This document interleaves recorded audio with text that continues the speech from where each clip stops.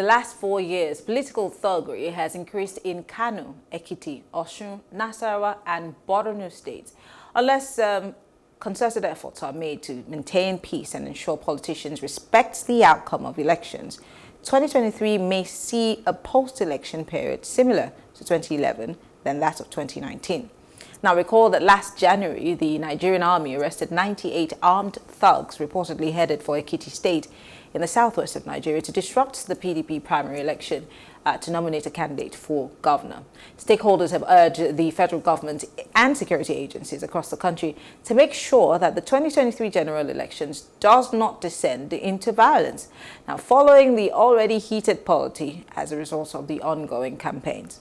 Well, joining us to discuss this is Akin Braithwaite. He is the governorship candidate of the National Rescue Movement here in Lagos State. It's always a pleasure to have you in the studio. Thank you. It was great and to Happy be here New Year. with you. Happy New Year to you too.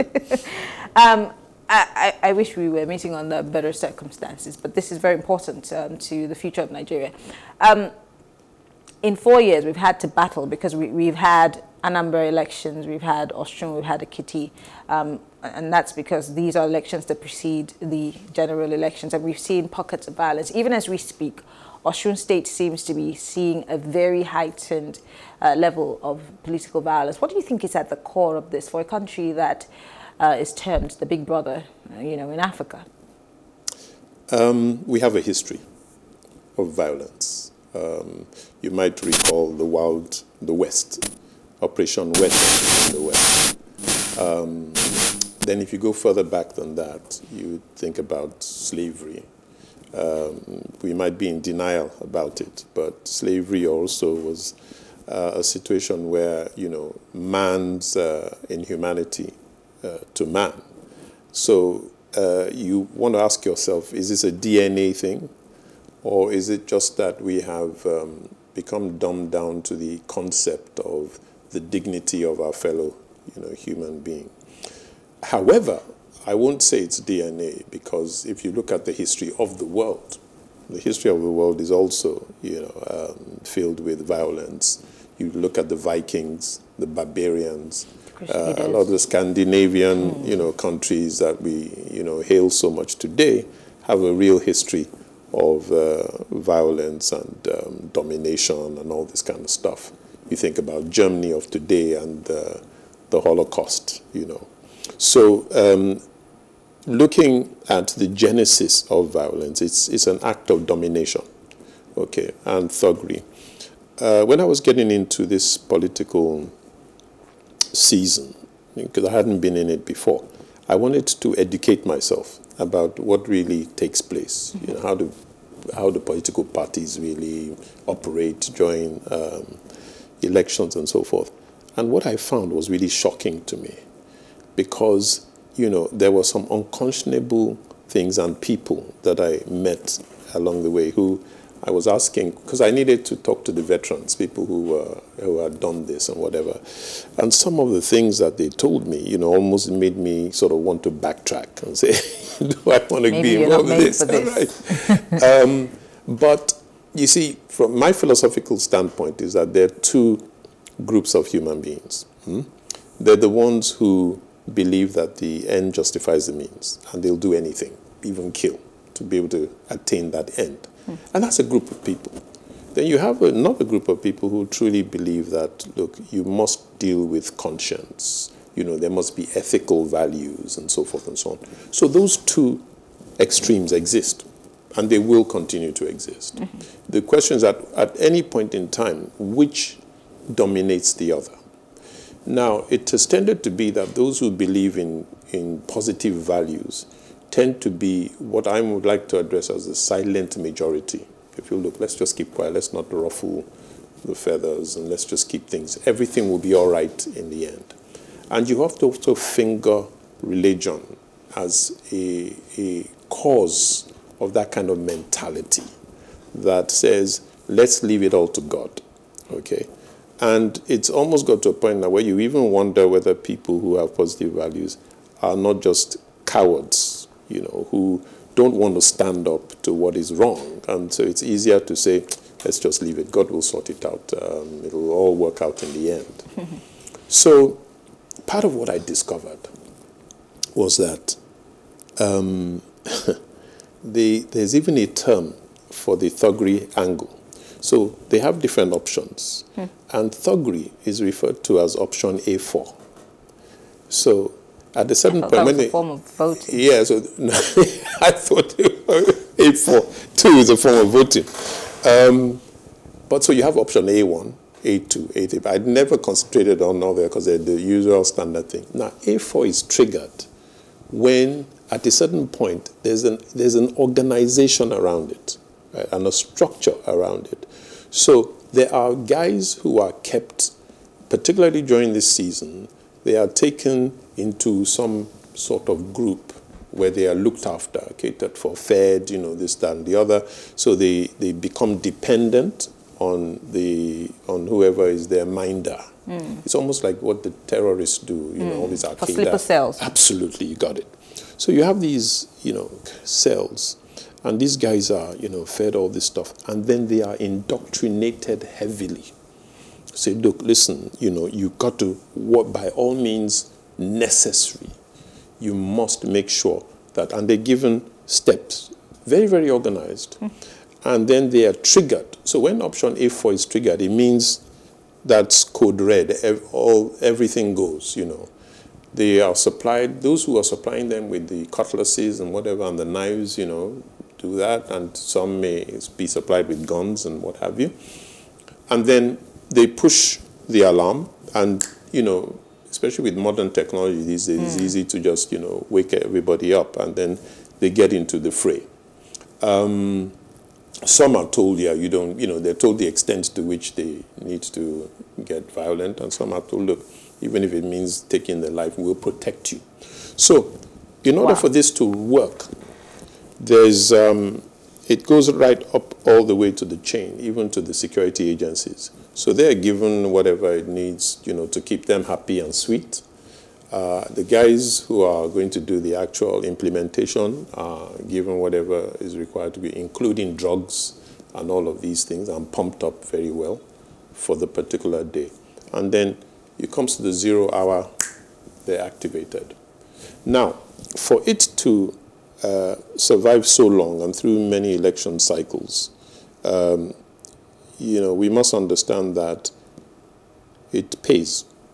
Okay? So mm. when I was brought up, I was brought up to understand that crime doesn't pay, you know, so you don't even think about crime. But you see, when you are in a society where crime is not punished, mm. then you have to conclude that crime therefore pays. Okay? Mm. So the guys who are, you know, corralled into this, they see the big boys doing the crime and there's no time for the crime. So, and then the big boys assure them to that, look, see, you know, nothing happens. So you can do this stuff. And you will be well rewarded, both with drugs and money. And that's how the thing, you know, continues.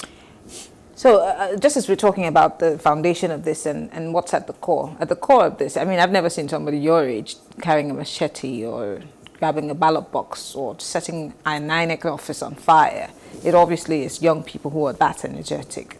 Um, and I always wonder why young people are the target, being that these are the people who are supposedly the future of this country. And just as I said to the last group of people we discussed with, we're doing a lot of civic education, voter education. We're trying to re-engineer the minds of the average Nigerian. Do you think we're not doing a great work or it's just falling on, all, on deaf ears? No, I think the work is great and you must obviously continue it.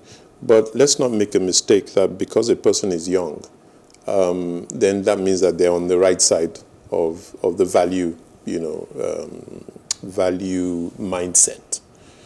That's why I said um, at the beginning that people divide into two. You know, those who accept evil and are interested, whether they're young or old, that's just, you know, where they stand in terms of this is what I want for life and this and that.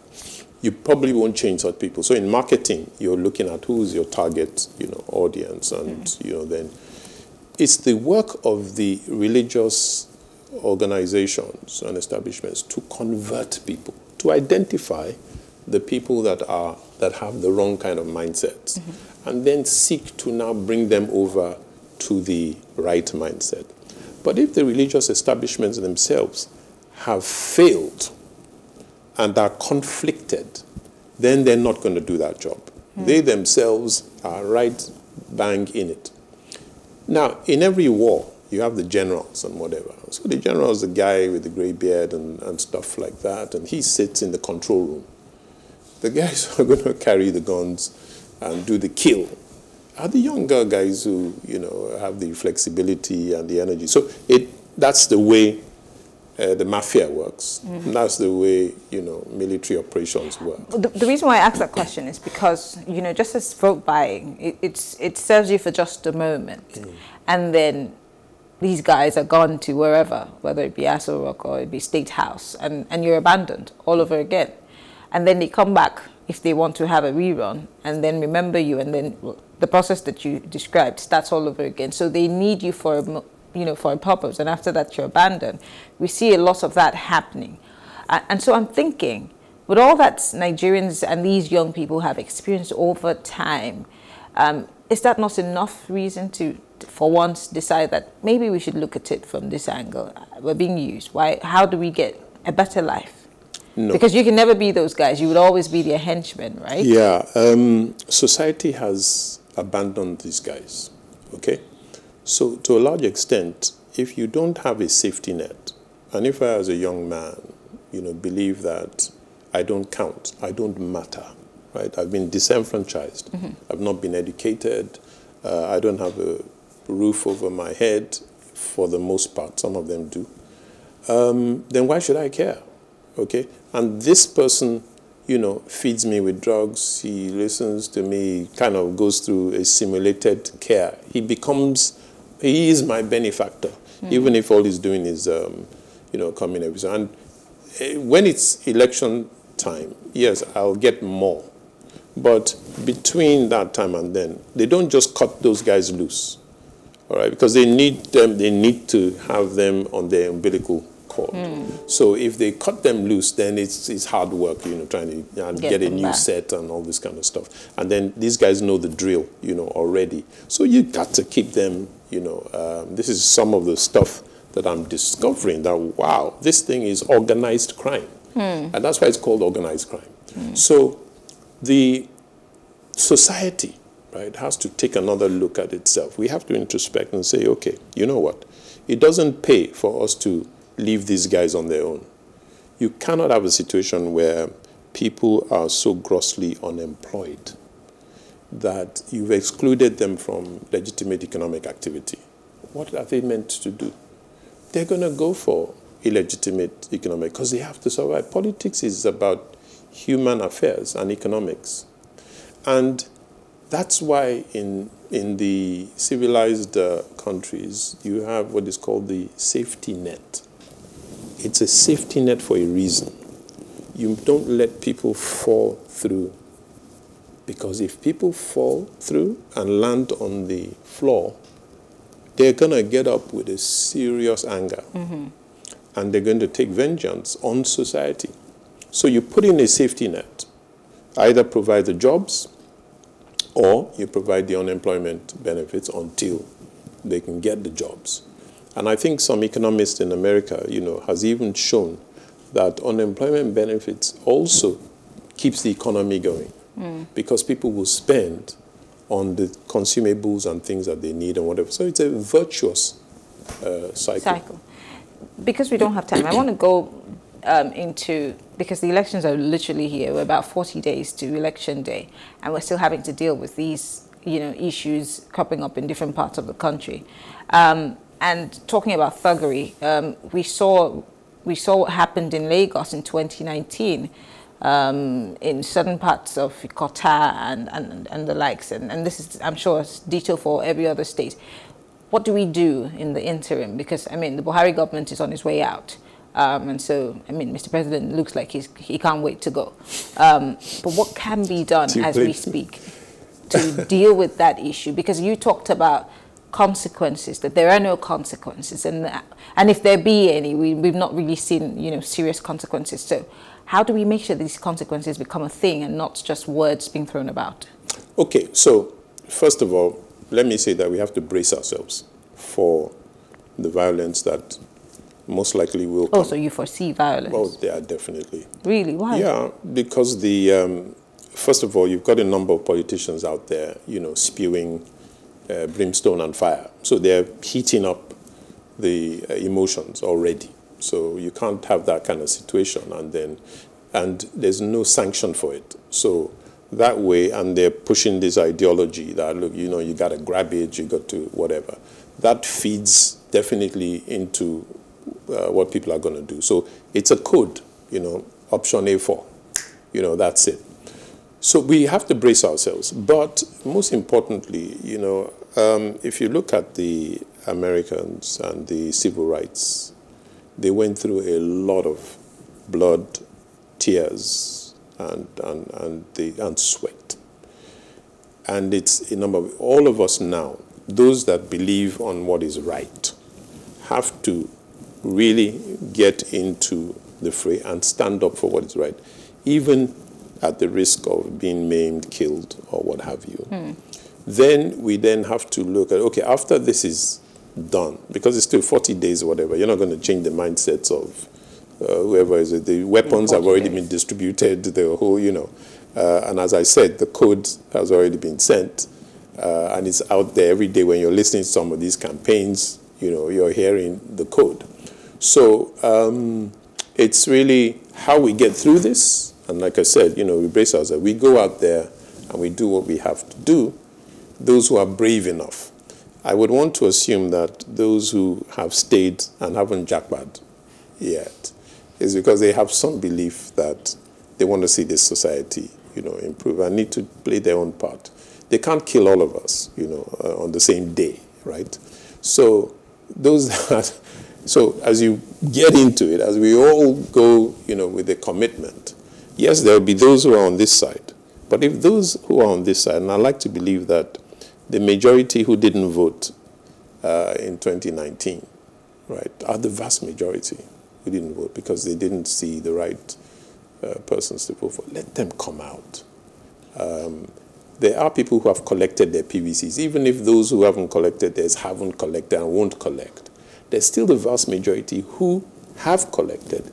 They can represent the ones who have Who not haven't collected? and just come out and do it and look them in the eye and say, you know, this society belongs to us as well, and uh, we need to we need to defend it, and we'll Okay. defend it with, with whatever is required.